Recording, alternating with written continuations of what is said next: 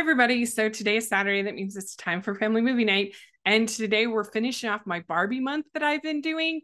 And this is my last Barbie movie review for at least a long time till they make more. And uh, we're talking about Barbie the movie, the live action feature film. And if you want to hear more of my thoughts on Barbie and Oppenheimer, I did a whole podcast with Molly about both movies right after they came out, where we did deep dive into both films. I really thought that was an excellent discussion. Uh, but here we're talking about Barbie the movie. And I have to say, I, I, I, never in a million years thought that this movie would end up as an Oscars favorite, getting all these nominations and uh, and everything. I just did not see that coming, but I was very excited for it because I have been such a Barbie fan and I enjoyed uh, most of the animated films. And uh, so I, I really was pretty sure that I would enjoy it. And I did end up enjoying it. I think the movie's like a little bit messy and it and it and it probably tries to tackle like one too many ideas uh, in the screenplay. But I would take like an ambitious mainstream blockbuster film, especially lately, where most of them have disappointed me. I would take one that like errs on the side of being a little over ambitious and maybe telling a little too much or trying to do too much over what we kind of normally get that's very bland and safe.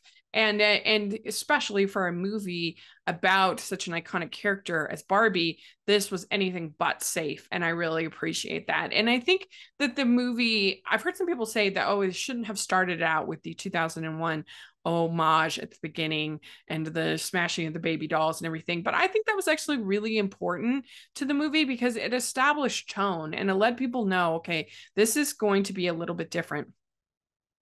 This is not going to be the traditional storytelling that you might expect from Barbie movie.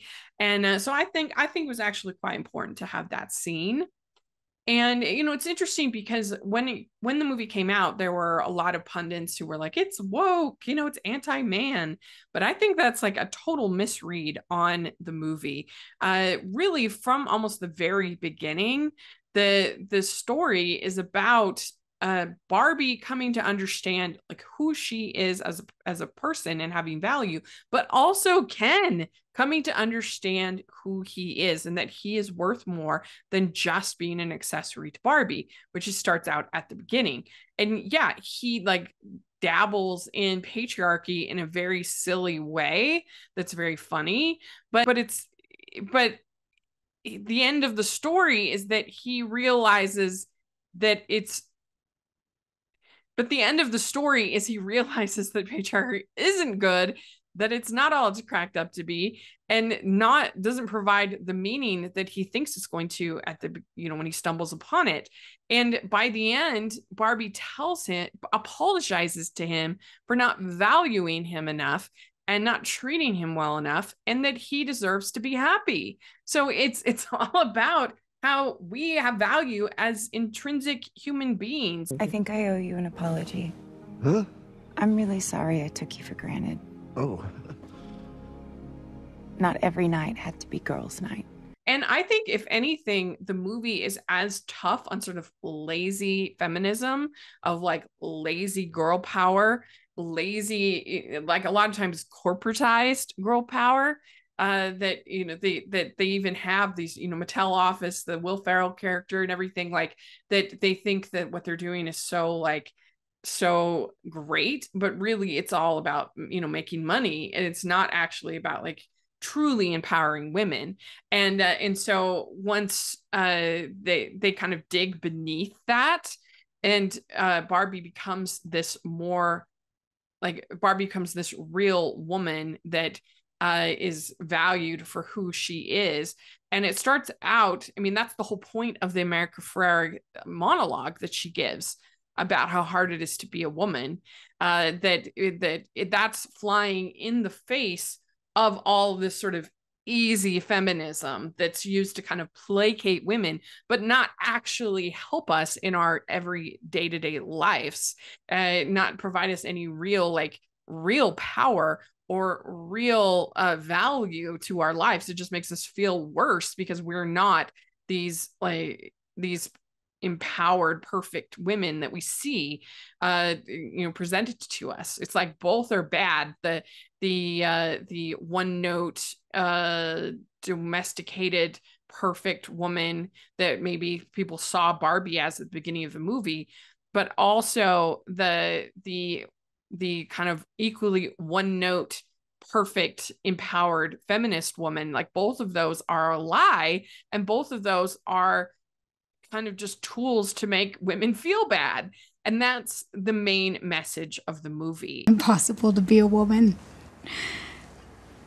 You are so beautiful and so smart and it kills me that you don't think you're good enough. Is that and that's why they have that whole montage at the end of showing mothers and daughters and and their just value as just being who they are. And uh, and that's what uh, America Ferrera's character learns that she has value that her drawings aren't just stupid stupid drawings that they that they actually do matter and that they have value and that just she is a human doing nothing has value and uh, and I think that that's the main the main message of Barbie and it also just is such a fun movie. I mean it's it's very funny, it's very colorful, it's very bright. It's got such a fun world that they've made. I I love Barbie world and and the whole idea of beach and you know just everything like that was very inventive and creative.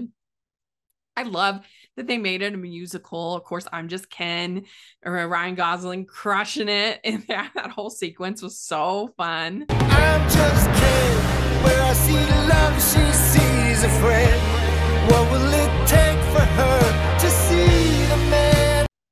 think a lot more people enjoyed Barbie than they expected to because it it just kind of has something for everything. You know, it's got the humor, it's got some social commentary, so it's like has something to say and discuss, and you can talk about it. But uh, but it's also very sweet and endearing, and Barbie becomes a character that you can really root for. Uh, that especially like at the beginning when she's called a fascist, you know, by the young woman, and she starts to cry, and you just you feel for Barbie. She hasn't done anything. She hasn't done anything but like be the way that she was designed to be and uh, and so you know you feel for her and uh, and for for what she's going through but then she takes that experience and and and becomes a better person from it. And so you know that all really works. And uh and it was just creative and exciting and different. And uh one of the most i think I think it was one of the most ambitious mainstream, certainly IP related films that we will ever get or that we have gotten. And uh, I admire Warner Brothers and I admire uh, Mattel for letting uh, letting this movie be made the way that it was made. And uh, and so yeah, just really admire it. The costumes super great. Jacqueline Durran did an incredible job recreating so many iconic Barbie looks and uh, and then the unique looks for the movie. Uh, of course, there were tons of Easter eggs for Barbie fans, something like Allan, uh, Midge, the pregnant Barbie, and uh, things like that. A lot of fun for Barbie fans. And of course, at the beginning, you see the iconic uh, Barbie in the swimsuit. That was the first Barbie to ever be released. So just a lot of of really fun uh fun moments for Barbie fans. Of course, we get Ruth Handler, the inventor of the Barbie, the creator of the Barbie.